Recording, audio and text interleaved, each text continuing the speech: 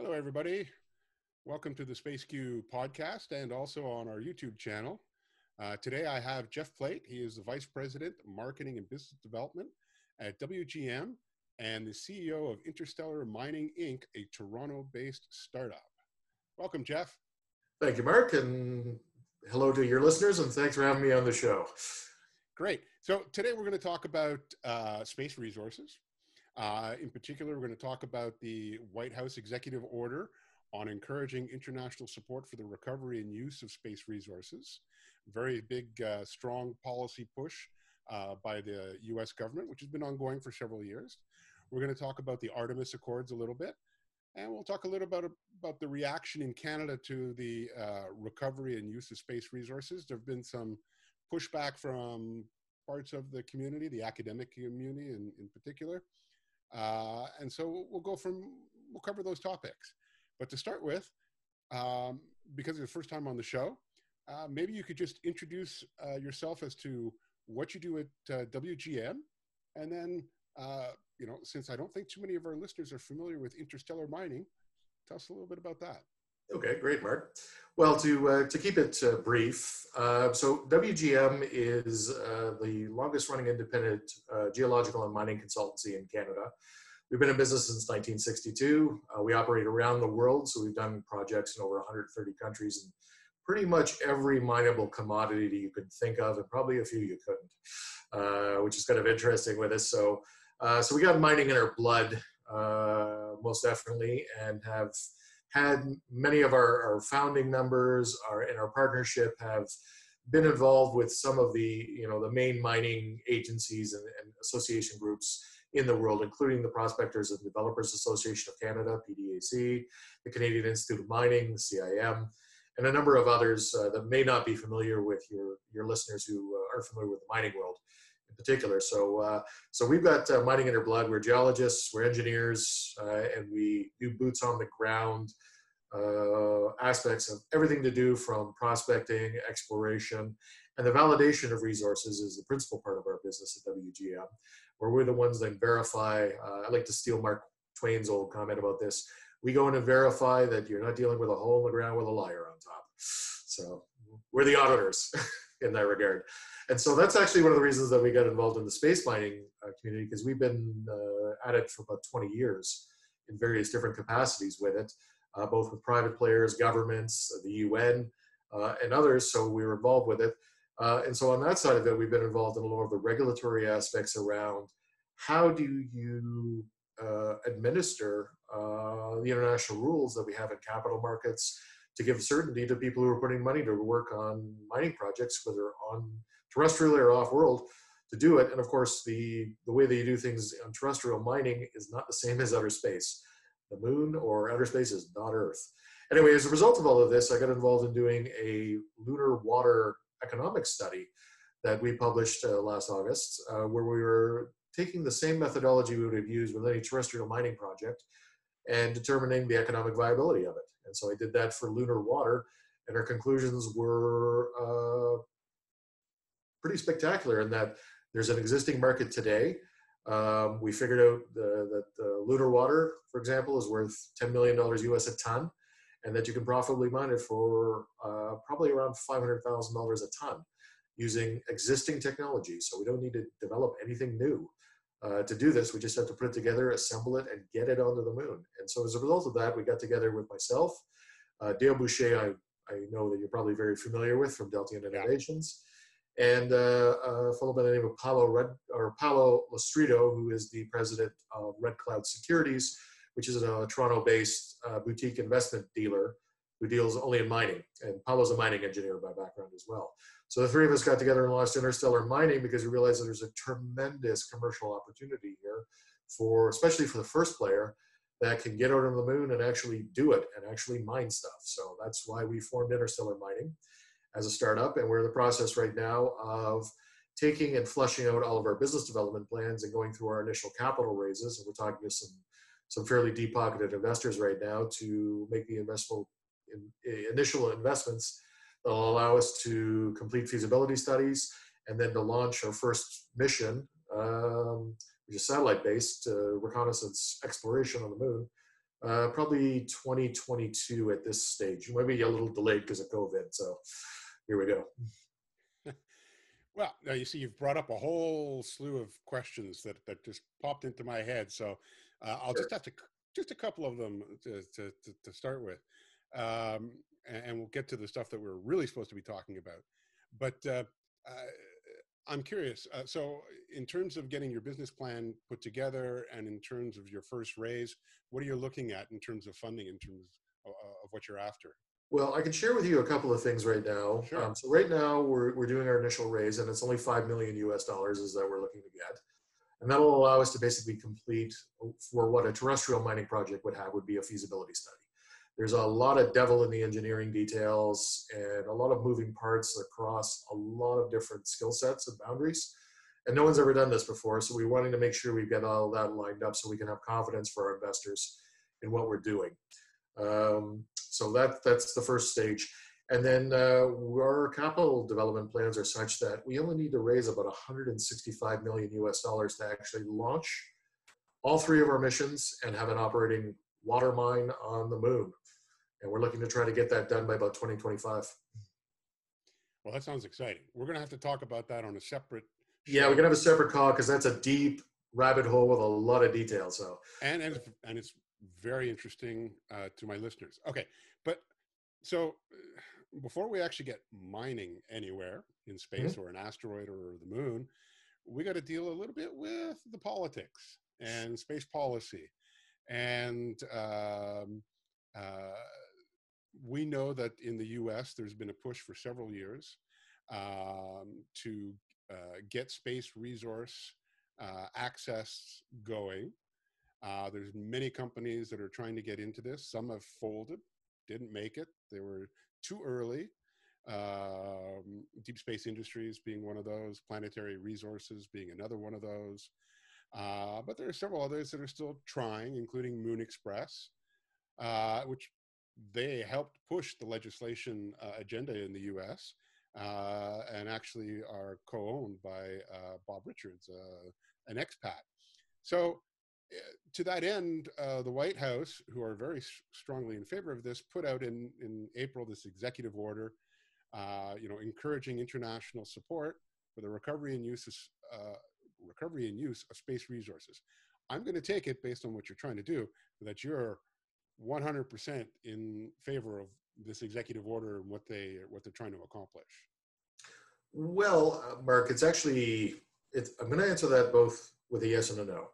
So first and foremost, Interstellar Mining itself is actually 100% Canadian owned uh, and operated. We're domiciled here in Toronto. Um, although that's the current state of affairs, and we remain flexible in terms of who we may, where we may re-domicile, anyway, based on uh, what makes most sense from a commercial perspective with it.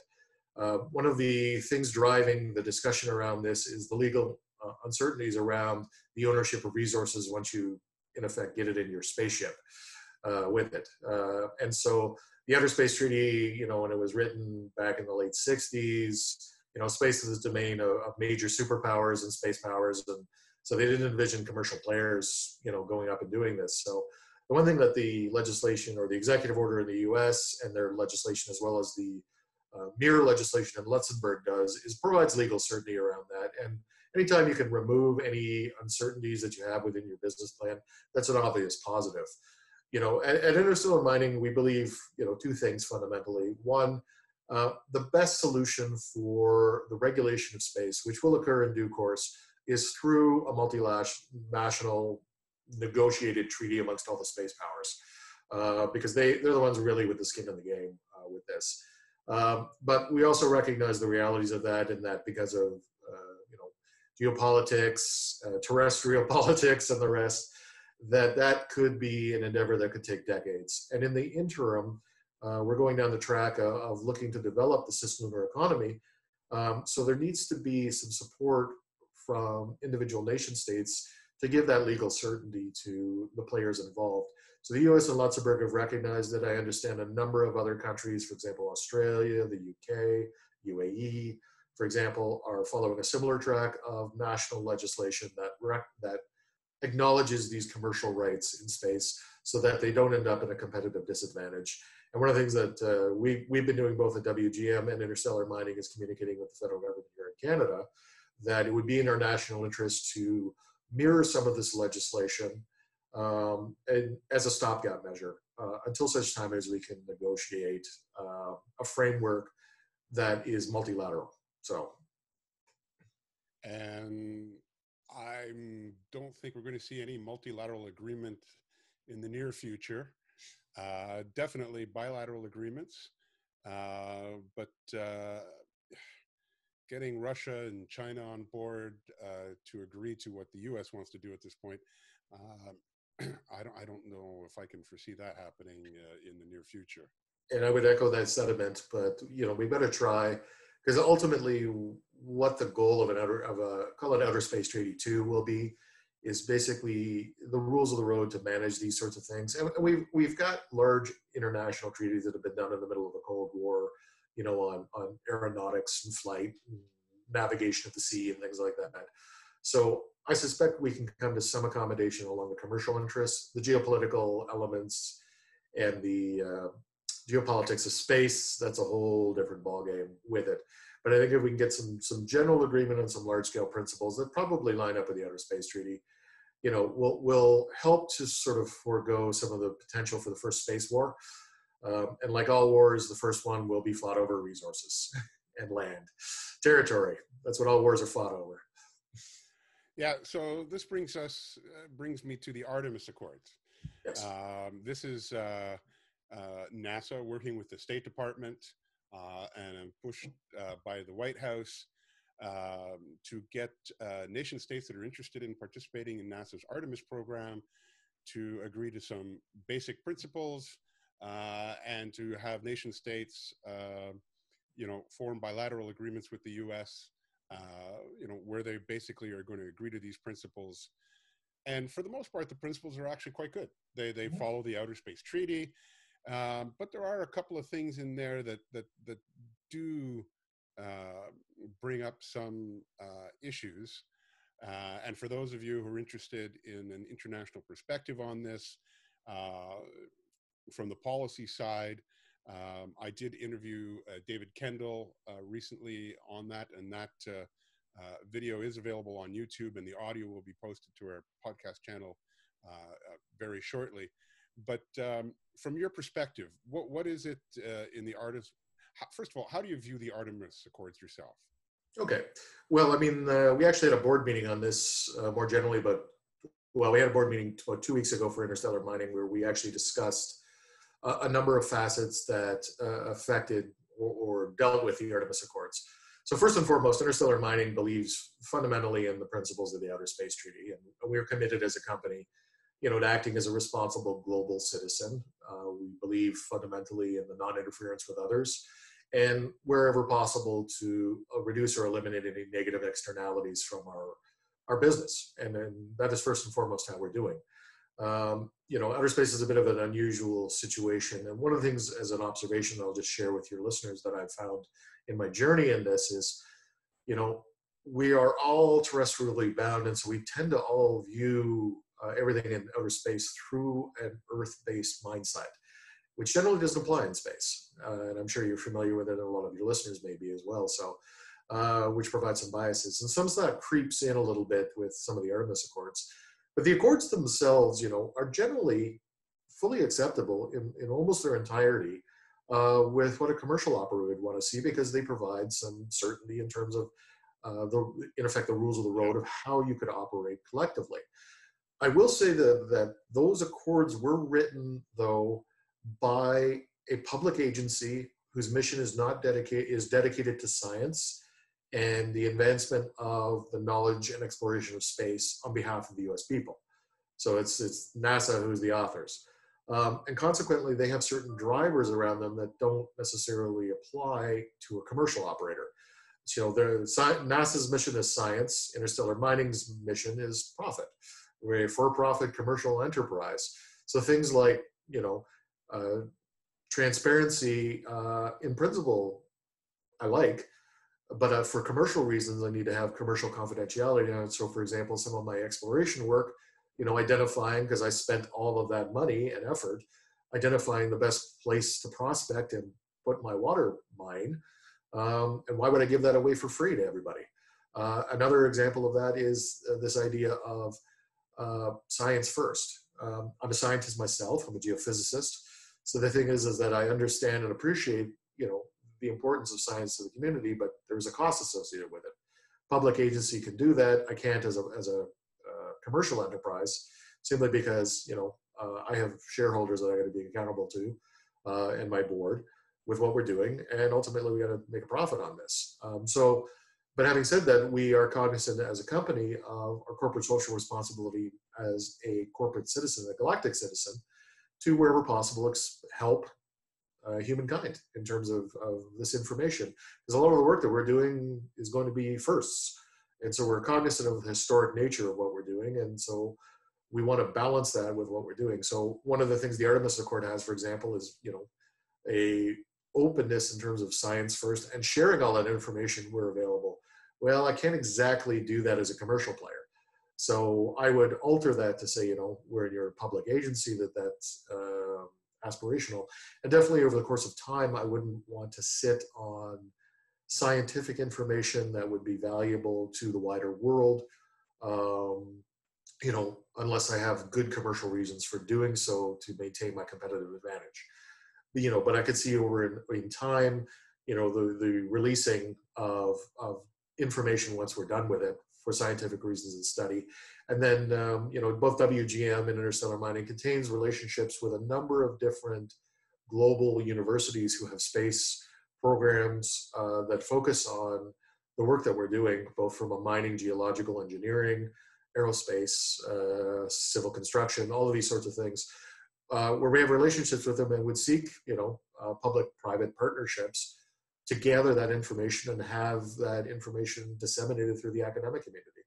Uh, it's something we're not opposed to. In fact, we've built some of that into our business plans. So now, um, I would point out that the Artemis Accords are actually only if you're participating in the Artemis program, uh, and that um, Canada, if it's going to participate, which they intend to, you know, we'll negotiate uh, a bilateral agreement with the U.S. But I, I, I would think that uh, as a commercial player, you don't necessarily have to abide by the accords if you're not actually participating in the Artemis program itself.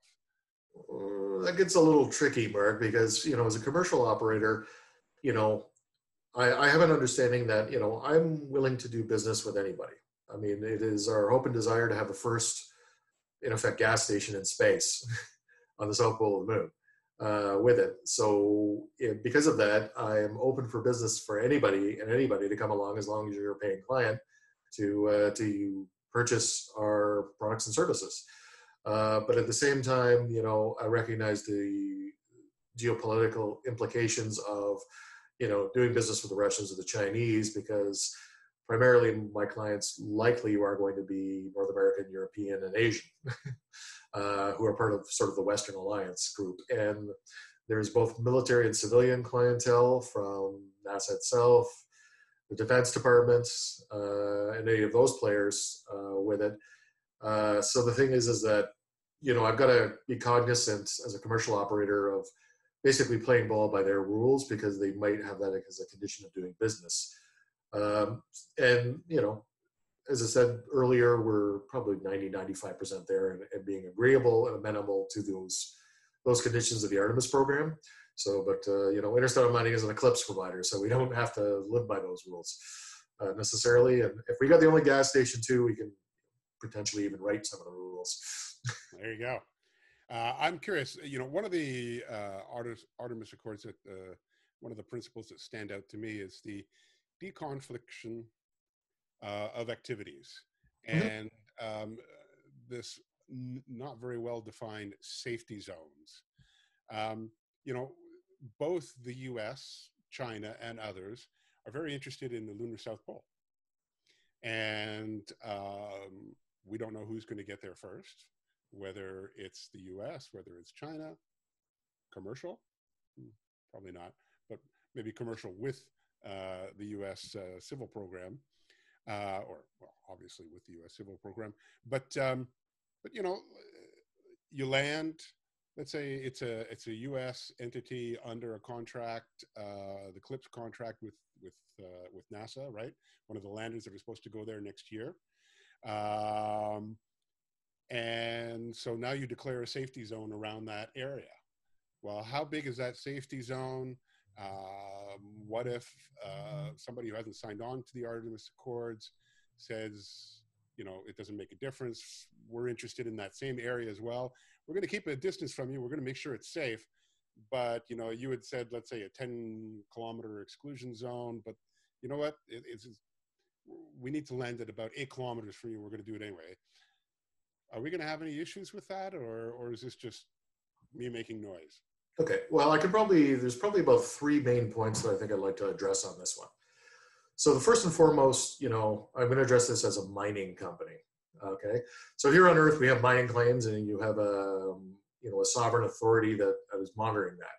You got no such beast in, in outer space um, because of the Outer Space Treaty, and this is something to be negotiated of sort of how do you administer this with a cadastre system and you know and administering that so you realize the economic value. Uh, that's something I wrestled with a lot about a year and a half ago in designing, um, you know, uh, the, the, economic analysis of this. But one of the things that's most important to understand is that, you know, uh, as a mining operation, I can tell you that the footprint that I have, my pit size of, of, excavated material I need to make is tiny. It's 35 meters by 35 meters by two meters deep annually. That is a very, very small sort of area that I need to mine. And if water resources are as ubiquitous as we believe they may be on the moon, there's no reason to fight over one little patch of ground. You can literally land beside me and dig a pit yourself, and we can both happily run our businesses. Which leads me to the second point, if I could segue in, is in the big issue is going to be in orbital traffic coming up and down from the surface. You know, if you're landing on raw regolith, the ejecta that is coming off the back of spacecraft coming up and down can fire cobble and, and gravel size uh, chunks of stone at distance and at speed that can very easily damage equipment. Not to mention the fact that smaller grain size material at the clay and fine sand and silt level you know, some of it actually will orbit the moon and send or sort of blast you from the other side. And that's just part of the operating environment.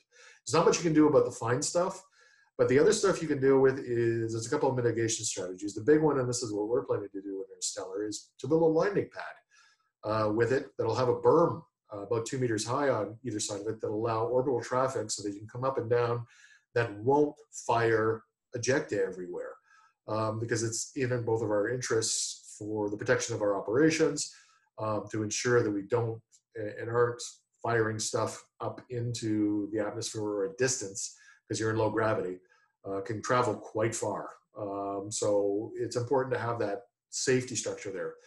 So uh, the last point is sort of around well, what happens when you wanted to land in the same spot? And I don't have an easy answer for that.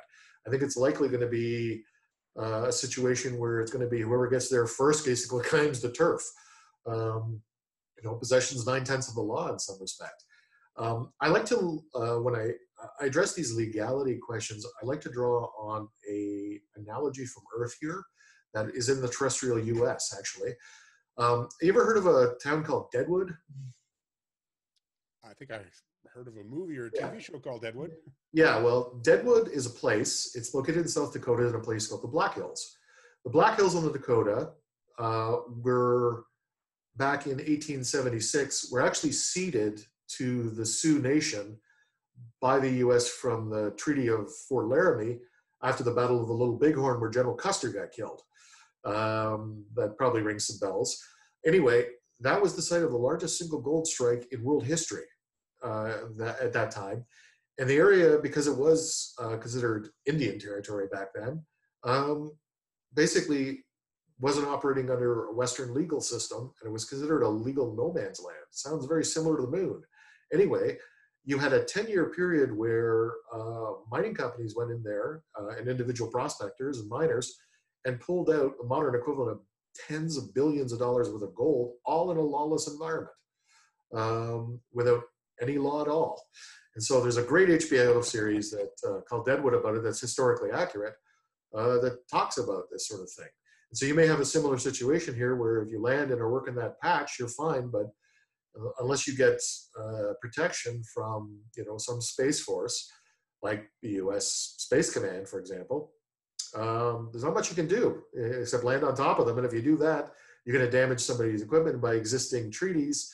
Whoever flag you fly, that country's legally responsible for the damages you do, and then they're going to come back to you to collect. So, um, you know, but the thing is, is that the moon's big. It's sparsely populated, even with all of these players going in.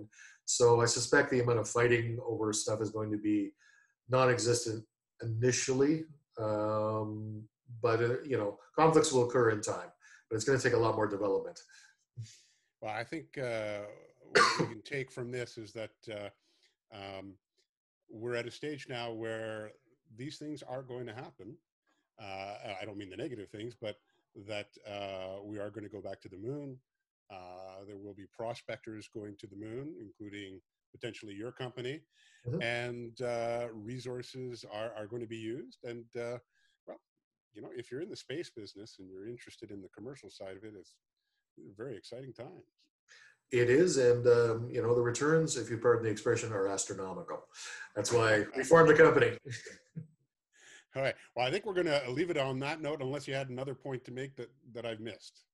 No, I think we've covered this off pretty pretty broadly, and uh, perhaps another time we can discuss mining more generally on the moon and some of the other uh, issues associated with it. Oh, I can guarantee you that. Though we'll, we'll do that. Okay, so that'll be it for today. Thank you for being my guest. Okay, thank you for having me, Mark.